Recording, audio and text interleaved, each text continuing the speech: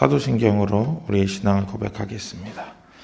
전능하사 천지를 만드신 하나님 아버지를 내가 믿사오며 그 외아들 우리 주 예수 그리스도를 믿사오니 이는 성령으로 잉태하사 동정녀 마리아에게 나시고 본디오 빌라도에게 고난을 받으사 십자가에 못 박혀 죽으시고 장사한 지 쌀 만에 죽은 자 가운데서 다시 살아나시며 하늘에 오르사 전능하신 하나님 우편에 앉아 계시다가 저리로서 산자와 죽은 자를 심판하러 오시리라 성령을 믿사오며 거룩한 공예와 성도가 서로 교통하는 것과 죄를 사하여 주시는 것과 몸이 다시 사는 것과 영원히 사는 것을 믿사옵나이다. 아멘. 우리가 오늘 부를 찬송은 122장입니다. 122장 참 반가운 성도여 가사 먼저 같이 읽어보겠습니다. 1절입니다. 참 반가운 성도여 다 이리 와서 베들레헴 성 안에 가봅시다. 저 구유에 누이신 아기를 보고 엎드려 절하세 엎드려 절하세 엎드려 절하세 구주 나셨네. 저 전사여 찬송을 높이 불러서 이 광활한 천지에 울리어라 주 하나님 앞에 늘 영광을 돌려 엎드려 절하세 엎드려 절하세 엎드려 절하세 구주 나셨네. 이 세상에 주께서 탄생할 때에 참신과 참 사람이 되시려고 저 동정녀 몸에서 나시었으니 엎드려 절하세 엎드려 절하세 엎드려 절하세 구주 나셨네. 여호와의 말씀이 육신을 입어 날 구원할 구주가 되셨도다. 늘 감사한 찬송을 주 앞에 드려 엎드려 절하세 엎드려 절하세 엎드려 절하세 구주 나셨네. 아멘. 우리 같이 122장 불러보겠습니다.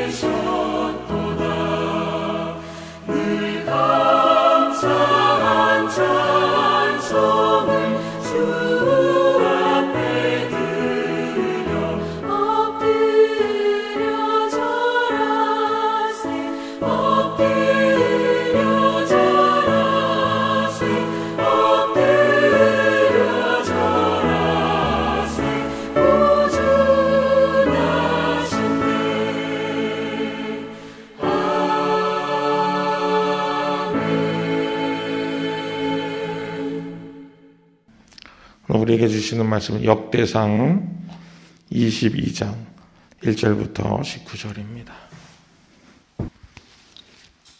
역대상 22장 1절부터 19절입니다. 제가 읽겠습니다. 다윗이 이르되 이는 여호와 하나님의 성전이요 이는 이스라엘의 번제단이라 하였더라.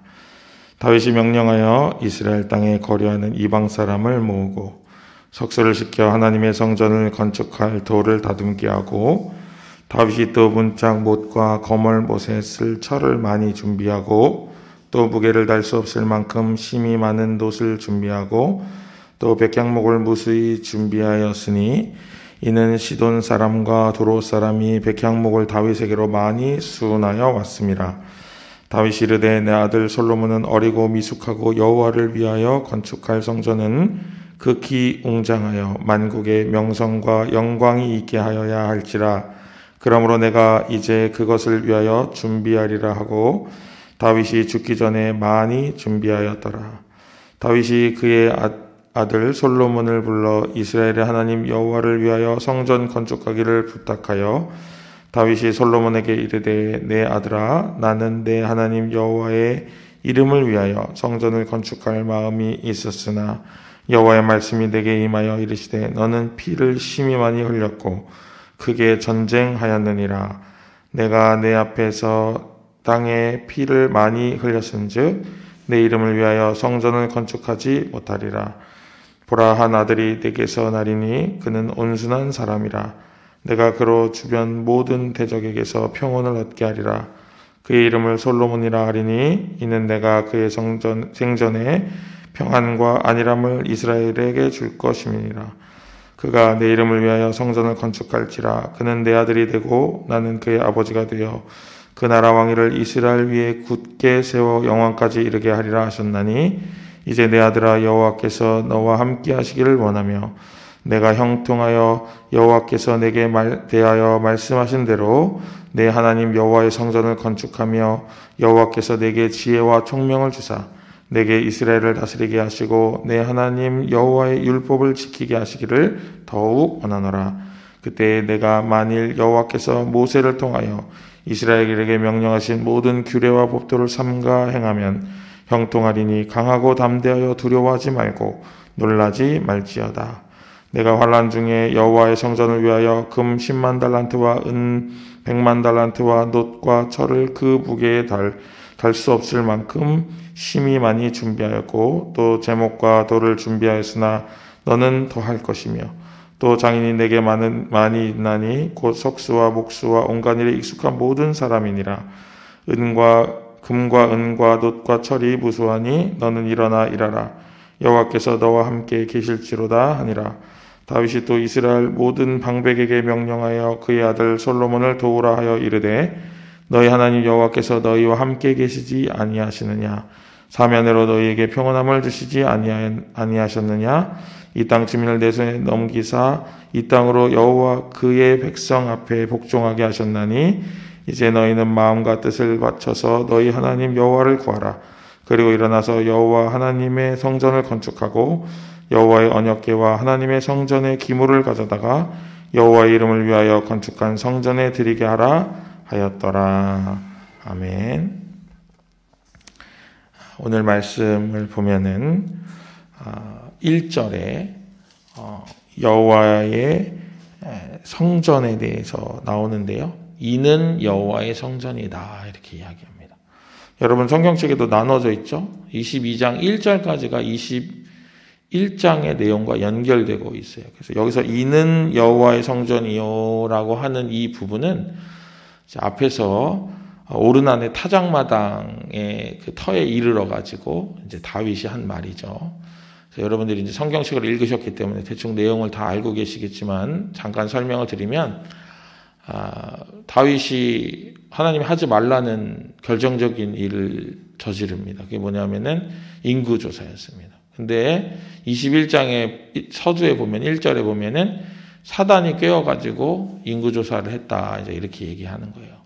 그러면서 다윗이 인구조사를 해가지고 하나님이 벌을 내리시는데 셋 중에 선택해라 해가지고 세 가지 벌칙을 줍니다. 그랬더니 다윗이 아, 저는 사람에게 맡기 싫습니다. 하나님께 맡겠습니다. 해가지고 이제 역병을 선택을 하죠. 그래가지고 역병이 온 이스라엘에 이제 창궐을 하게 됩니다. 그래서 역병 천사가 이제 나타나는데 무려 7만 명을 쓸어버립니다. 그래가지고 7만 명이 사망에 이르게 되고 그 역병 천사가 막 가는데 하나님께서 후회하셨다 이런 구절이 나와요. 여기서 이제 하나님이 신이신데 그 후회를 하냐 뭐 이런 이제 신학적 논쟁도 있습니다만 이제 그거는 후회한다는 게 아니고 이제 불쌍히 여기신다 이런 뜻으로 보는 것이 더 좋을 것 같습니다. 그래서 하나님께서 벌을 내리셨지만 그 이스라엘 백성들을 불쌍히 여기셔 가지고 이제 천사가 오르난 타작마당에 이르렀을 때 딱 멈춥니다. 그리고 다윗이 그 오르난 타작마당에 가가지고 그 오르난 타작마당에 돈을 주고 이제 오르난 타작마당 사니까 그 천사가 이제 뽑았던 칼을 집어넣었다. 그러면서 이제 재앙이 끝나고 거기가 이제 여호와의 성전의 터가 된다. 이제 이런 식의 이야기가 21장에 나와 있습니다. 그러면서 22장에 여기가 터다 이렇게 하고 이제 22장에 오늘 말씀에 이르러서가는 다윗이 어떻게 성전을 준비하는지가 나와 있습니다. 우리가 이미 잘 아는 바와 같이 성전은 다윗이 짓고 싶은 마음이 컸는데 다윗이 안 짓고 누가 짓죠? 솔로몬이 지어요. 오늘 우리가 읽은 대로 솔로몬이 짓습니다. 다윗도 스스로 얘기하죠. 내가 성전을 지을 마음이 많았는데 하나님께서 너는 전쟁을 많이 했고 피를 많이 흘렸으니까 안 된다 하셔가지고 내 아들 솔로몬에게 평안을 줄 테니까 그 솔로몬이 짓도록 해라 해가지고 너에게 이제 위임한다 하면서 여러 가지 준비들을 하는 모습을 보여줍니다. 오늘 저는 이 말씀을 읽으면서 그런 생각을 했습니다. 아, 다윗이 어떻게 이 평생에 어, 성전을 짓기를 소망하고 살았는데 이것을 어떻게 이렇게 한 번에 하나님의 말씀에 이렇게 돌릴 수 있었을까 그런 생각을 해봤습니다. 여러분 우리가 열심히 막 뭔가를 막 갈망하다가 그게 딱 이루어지지 않으면 마음이 어떻죠? 굉장히 불편하고 힘들 수 있잖아요. 근데 다윗은 그 마음을 탁 금방 돌이키는 것을 볼 수가 있습니다. 아, 다윗의 삶에서도 보면은 어, 아들이 하나 죽잖아요. 근데 그 아들이 죽을 때 어떤 모습이냐면은 어, 다윗이 그 아들이 죽을 걸 알았어요. 바세바와 이제 그 간음을 한 것 때문에 하나님이 아들이 죽을 거다 얘기하셨는데 그 아들을 이제 올려놓고 어, 재단에 올려놓고 이제 기도를 하는 거예요. 엎드려 가지고 일주일 동안 먹지도 않고 자지도 않고 그 엎드려 가지고 계속 기도하는 거예요. 그래 가지고 했는데 어떻게 왕자가 어떻게 됐냐면 결국 죽게 됩니다. 근데 신하들이 두려워해요. 다윗이 이제 열받았을 것 같은 거예요. 일주일 동안 엎드려서 기도를 정성을 쏟았으니까 이제 왕자가 죽었다고 하면 다윗이 얼마나 열받겠어요. 그래가지고 얘기를 못하고 주춤주춤하고 있으니까 다윗이 물어봅니다. 아들이 어떻게 됐냐고. 죽었다고 하는 거예요. 그 자리에서 일어나서 툴툴 털고 툴툴 털고 가서 밥 먹고 자고 하는 거예요. 다윗이 어떻게 이런 모습을 보일 수 있었을까? 어, 그런 것들을 오늘 같이 묵상하기를 바랍니다. 아마 다윗은 하나님께 기준을 두었던 것 같습니다. 우리가 우리 마음을 생각해 볼 때 우리가 우리가 간절히 원하는 것, 또 그것에 대해서 열심히 기도한 것이 이루어지지 않았을 때 큰 마음의 상처를 입는 것은 기준이 우리이기 때문이에요. 그렇죠? 우리가 우리 기준을 하나님께 들어달라고 확 애를 썼는데 안 되면은 엄청 마음이 상하는. 그리고 거기다 대고 그걸 해달라고 막 금식하고 막 100일 기도 작정하고 막 이러면은 점점 더 어떻게 돼요? 뭐가 커져요? 마음이 커져요. 그래서 결국 그게 마음이 커지다가 마음이 커지다가 안 이루어지니까 마음이 툭 떨어져 가지고 쨍그랑 깨져 가지고 그걸 뭐라고 부르냐면 낙심한다 그러죠. 그죠? 그래 가지고 이제 뭐 하나님 있네 없네 하면서 막 신앙이 확 떨어지고 이렇게 되는 거예요. 근데 오늘 다윗을 보면은 그런 모습이 전혀 없어요. 그러면서 뭘 하냐 하면은 자기에게 맡겨진 게 뭔가에 대해서 생각하는 것 같습니다. 뭐 그런 구절은 없습니다만은 그러면서 뭘 하냐면은 성전의 터를 준비하고 성전을 지을 기물들을 준비하고 공사에 쓸 자재들을 준비하면서 그런 생활로 자기가 거예요. 히브리서 말씀에 보니까 11에서 11장 7절에 이런 말씀이 있습니다. 믿음으로 노아는 아직 보이지 않는 일에 경고하심을 받아 경외함으로 방주를 준비하여 그 집을 구원하였으니 이로 말미암아 세상을 정죄하고 믿음을 따르는 의의 상속자가 되었느니라. 뭐냐면 노아가 방주를 짓는데 아직 보이지 않는 일에 대해서 경고를 받았다는 거예요. 홍수가 일어날 거다. 대홍수가 일어날 거다. 그래서 노아가 몇 년 동안 방주를 짓죠? 120년 동안. 여러분 생각해 보세요. 12일 동안 사람들이 손가락질 하는 일을 한다고 생각해 보세요, 여러분. 12일 동안. 괜찮으시겠어요, 여러분?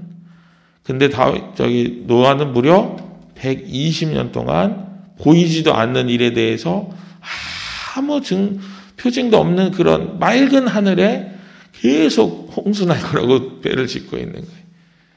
그 믿음. 아마 다윗이 그런 믿음으로 오늘 성전을 준비했을 것 같습니다. 제가 생각할 때는.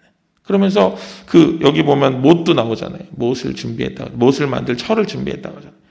그 다윗 안에는 그 하나님께 드릴 성전을 마음으로 짓고 있었던 거예요. 하나님이 안 된다고 하시니까 더 이상 그것에 대해서 이렇게 하지 아니하고 마음으로 그 자재를 준비하면서 그 이렇게 수은에서 오는 백향목을 보면서 아마 성전의 기둥을 생각했을 거예요. 그 못을 만들 철을 보면서 그 모서리 모서리를 생각했을 거예요. 그러면서 만들어 갔다는 거예요. 노아드가 보이지 않는 것을 위해서 120년 동안 열심히 사람들이 인정해주지 않아도 다 이렇게 했던 것처럼. 네. 우리가 우리의 기준이 어디 있나를 좀 생각해 볼 필요가 있다는 것입니다. 다윗은 오늘 우리에게 우리의 기준은 하나님이야 라고 말하고 있습니다. 우리의 기준은 나 자신도 아니고 세상 사람들의 이목도 아니고 다른 사람의 기준도 아니고 오직 여호와 하나님이신 것입니다. 그분께서 허락하시면 하는 것이고 허락하지 않으시면 안 하는 거예요. 자기가 일주일 동안 밥도 먹지 않고 잠도 자지 않고 기도했음에도 불구하고 하나님이 아니라고 하면은 아닌 거예요. 그것에 대해서 회한을 가질 필요도 없어요. 왜? 아니니까. 툴툴 털고 일어나서 자기 할 일을 또 하는 것이죠. 그래서 신하들이 다 놀랐다고 이제 했는데 다윗의 그런 모습이 우리의 모습이 되어야 될 줄로 믿습니다. 우리가 날마다 기도합니다. 하나님 이거, 하나님 저거, 뭐 이렇게 기도합니다. 우리의 필요를 하나님께 구하는 일은 너무나도 소중한 일입니다. 그것을 하지 않을 수는 없어요. 그러나 그것에, 그것이 하나님 뜻에 부합하지 않는다 하면은 그것 또한 쉽게 마음에서 툭 내려놓을 수 있는 그런 준비가 우리 안에 필요하다고 생각이 됩니다. 그러면서 그것을 향해 또 다른 다음 세대를 위해 준비하는 우리의 모습이 있으면 좋을 것 같습니다. 믿음은 바라는 것들의 실상이요 보이지 않는 것들의 증거라 하였는데 오늘 다윗이 보여준 이 준비와 이 그 아들에게 부탁하는 이 모습은 정말 믿음으로 이미 지어진 성전을 다윗은 보면서 그것에 대해서 솔로몬에게 부탁하고 그것에 대해서 자재를 준비하고 그것에 대해서 열심으로 나아가는 그래서 성전을 짓는 것이나 준비하는 것이나 하등 다른 의미를 부여하지 않고 내가 겨우 준비나 해야 되겠어 이런 것이 아니라 하나님이 나에게 맡기신 일을 털을 닦고 이것을 준비하는 일이고 내 아들에 대해 이루실 것을 기대하면서 마음으로 성전을 지어가는 사랑하는 여러분, 우리가 세상을 살면서, 인생을 살면서 여러 가지 소원이 있습니다. 그러나 그 소원이 다 이루어질 수 없어요. 그러나 그 소원이 이루어지지 않는다고 해서 실망할 필요도 없습니다. 하나님은 나보다 나를 더 잘 아셔서 내가 그 길로 가는 것이 서로 좋아 보였을지라도 그 길로 가지 않는 것이 나에게 더 잘 맞는 것을 하나님 너무나도 잘 아시기 때문에 나에게 그 길을 허락하지 않으셨다고 하는 굳건한 믿음과 신뢰가 우리의 마음에 있어야 될 줄로 믿습니다. 우리가 아무리 기도해도 이루어지지 않는 일이 있어요. 그러나 실망할 필요가 없습니다. 그 일은 내 일이 아닌 것입니다. 하나님께서는 그 일이 그 일은 너가 아니야 라고 말하고 계시기 때문에 그것을 믿고 의지하고 그렇게 믿음으로 반응하는 그런 오늘 하루의 삶이 여러분에게 충만하게 일어나게 되시기를 주님의 이름으로 축복합니다.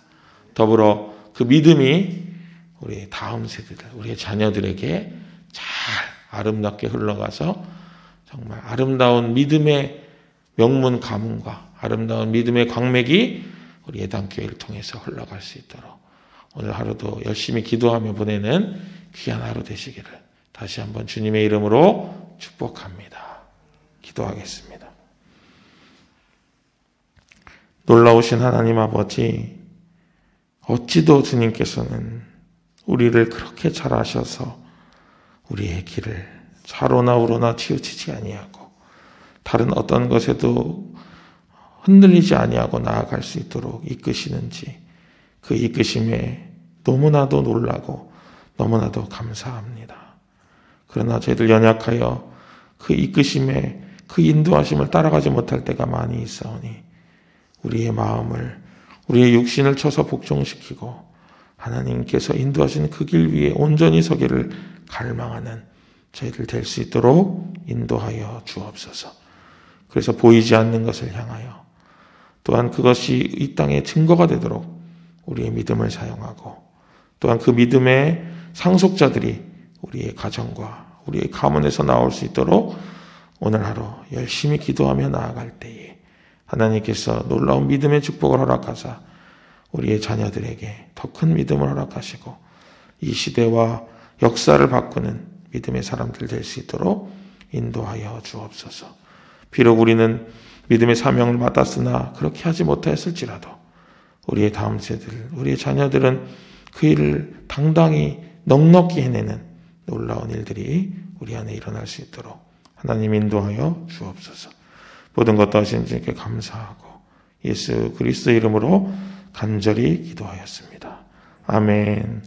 하늘에 계신 우리 아버지여, 이름이 거룩히 여김을 받으시오며, 나라의 마옵시며, 뜻이 하늘에서 이룬 것 같이 땅에서도 이루어지이다.